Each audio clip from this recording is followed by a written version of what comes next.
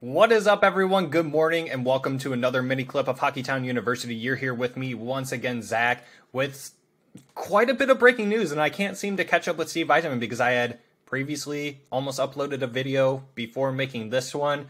Uh, so let's just go ahead and jump right into it. Carter Mazur, uh, just announced right now as I'm recording at 10:32 a.m., has signed his three-year entry-level contract beginning with the 2023-24 season. Mazur will report to the AHL's Grand Rapids Griffins on an amateur tryout for the remainder of this season. Now, in other news, the same thing has happened with William Wallinder. As of this morning, the defenseman signed a three year entry level contract beginning next season. Wallinder will report to the AHL's Grand Rapids Griffins on an amateur tryout for the remainder of this season. Now, for those of you wondering, why is it an amateur tryout? Well, there's only so many games left for the Grand Rapids Griffins. I believe it's around eight. I know that Detroit only has 10 games left. They've already played 72 out of their 82. So that's potentially why. And that's honestly a good thing. It's a good thing that these players aren't going to burn through another, uh, or at least a year of their entry level deals. But in other news, fellow Rögle BK player Marco Kasper has announced that he is making the jump to North America. I know that Leslie and I alluded on the last episode that Marco Kasper is someone who wanted to stay over in Sweden, in Europe, to finish up his schooling and then commit to playing in the Champions Hockey League.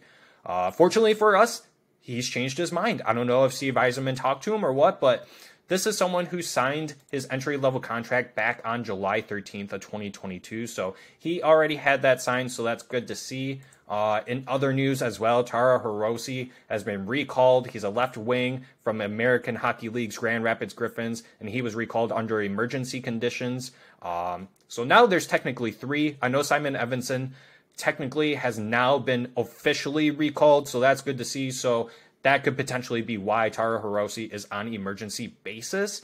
Um, but nonetheless, you know, still a serviceable player. This is someone who came from the uni- or Michigan State University back in 2018-19 season. He was an undrafted free agent that Ken Holland signed.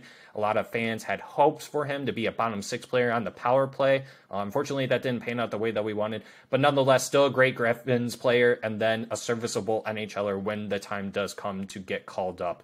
Uh, if you guys want to go ahead and take a look at his stats, I use Elite Prospects great tool to use to go look up some of these players. But I'll leave all the information in the description as well. But I want to hear from you guys. You know, leave a comment down below to let me know what you guys think about all these signings. Do you guys expect one, if not all, or maybe none of them, to make the jump with the Detroit Red Wings? Let me know what you guys expect to see out of them with the Grand Rapids Griffins as well. And as always, let's go ahead and end it here.